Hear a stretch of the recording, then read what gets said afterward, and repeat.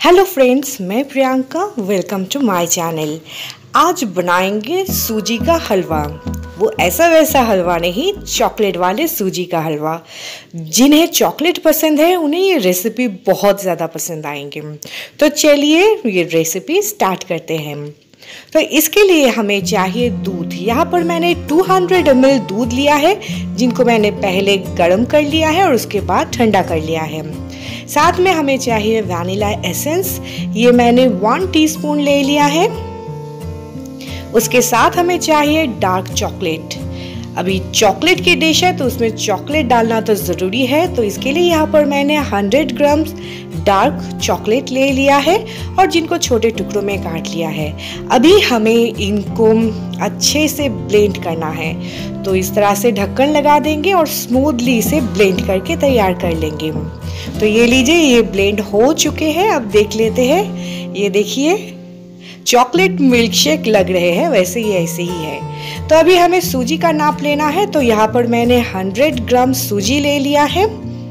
तो जितना हमें सूजी लेना है, उतना ही हमें चॉकलेट लेना है इसमें। अभी कढ़ाई में एक चम्मच घी गरम कर लेंगे। आप चाहो तो तेल भी गरम कर सकते हो। साथ में सूजी डाल देंगे और गैस का फ्लेम इस समय मीडियम रखेंगे और सूजी डालने के बाद इसे लगातार चलाते रहेंगे और इसे अच्छे से भून लेंगे।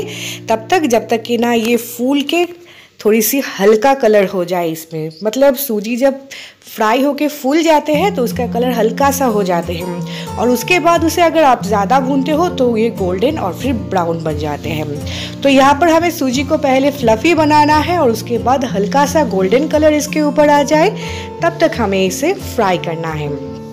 तो यहाँ पर आप देख सकते हो सूजी काफ़ी फ्लफ़ी हो चुके हैं, लेकिन इसका कलर अभी चेंज नहीं हुए हैं। इस स्टेज में इसमें डाल देंगे चीनी। यहाँ पर मैंने चार चम्मच चीनी लिया है, आप अपने टेस्ट के हिसाब से ले। वैसे भी चॉकलेट में थोड़ी सी चीनी होती है, पर यह यहाँ पर मैंने डार्क चॉकलेट लिया है तो ये थोड़ी सी कड़वा बनते हैं। तो इसे एडजस्ट करने के लिए मैंने यहाँ पर चीनी डाल दिया है। तो इसे अच्छे से मिला देंगे और इसी के साथ इसे भून के तैयार कर लेंगे। और ये हो चुके हैं तो फिर इसमें डाल देंगे चॉकलेट और दूध का जो मिक्सचर है और इसे डालने के बाद गैस का फ्लेम हाई कर देंगे और हाई करने के बाद इसे कंटिन्यूसली इसे चलाते रहेंगे और चलाते हुए हमें इसे पूरी तरह से सूखा लेना है। तो यहाँ पर आप देख सकते हो ये काफ़ी सूख गए हैं, अब इसे और ज़्यादा सुखाना है। गैस का फ्लेम हाई रख के ही इसे करना है। अगर आप फ्लेम लो कर दोगे तो इसे काफ़ी टाइम लगेगी और ये अच्छी तरह से नहीं बनेगी और सौगी सौगी बन जाएगी। तो ये देखिए, ये सूख गए हैं। अभी गैस का फ्लेम हम मीडियम कर देंगे और मीडियम करने के बाद इसे कंटिन्यूसली चलाते हुए थोड़ा और सुखा लेंगे। तो ये देखिए, ये तो हलवा बन के तैयार हो गए हैं। गैस का फ्लेम अभी ऑफ़ कर देंगे क्योंकि ये जितना ठंडा होते जाएँगे और ज़्यादा सूखते जाएँगे। तो गैस का फ्लेम ऑफ़ कर देंगे और उसके बाद इसे हल्का सा ठंडा कर लेंगे। मतलब ये अभी खाने लायक नहीं है, हमें इसे थोड़े हल्का करना है।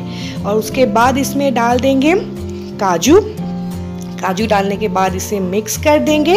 वैसे आप चाहो तो इसमें कोई भी ड्राई फ्रूट्स ऐड कर सकते हो, लेकिन मैंने यहाँ पर काजू और सिंपली आमंड डाला है हमें यहाँ पर। तो इसके बाद थोड़ी सी आमंड स्लाइव्स इसमें डाल देंगे और थोड़ी सी बचा लेंगे बाद में गार्निशिंग के लिए। तो ये जो रेसिपी है, इसे आप ठंडा खा सकते हो, गर्म भी खा सकते हो।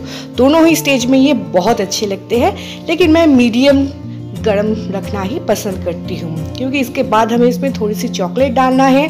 तो अगर बहुत गर्म हो जाते हैं तो चॉकलेट तुरंत मेल्ट हो जाते हैं तो मज़ा नहीं आते हैं। तो इसके लिए मैं इसे हल्का सा ठंडा कर लेती हूँ। और सर्व करने के लिए क्या करती हूँ, एक बाउल में इसे निकाल लेंगे। और उसके बाद ऊपर से थोड़ी सी चॉकलेट डाल देंगे। यहाँ पर मैंने थोड़ी सी चॉकलेट के टुकड़े बचा कर रखे थे तो ऊपर से गार्निशिंग के लिए इस तरह से इसमें डाल देंगे। ऊपर से थोड़ी सी और सूजी इसमें ऐड कर देंगे और वापस से थोड़ी सी चॉकलेट डाल देंगे। और आमंड के साथ सजाकर सर्व कर देंगे। यहाँ पर चॉकलेट मैंने इसलिए डाला है कि बच्चों को मुँह में चॉकलेट आते हैं तो उन्हें बहुत मज़ा आता है इसे खाने में। वैसे भी ये बहुत ज़्यादा टेस्टी बनते हैं। घर पर आप इसे एक बार ज़रूर ट्राई करके देखें। तो ये लीजिए। ऊपर से थोड़ी सी आमंड इसमें ऐड कर देंगे गार्निशिंग के लिए। और ये ठंडा या फिर गर्म दोनों ही तरफ़ से आप सर्व कर सकते हो। तो इसे एक बार ज़रूर ट्राई करके देखें। आज की ये रेसिपी आपको पसंद आते हो तो प्लीज़ मेरे चैनल को सब्सक्राइब करें बेल बटन को दबाएँ और ये रेसिपी अपने दोस्तों के साथ ज़रूर शेयर करें। तो चलिए फ्रेंड्स फिर मिलेंगे एक और नई रेसिपी के साथ।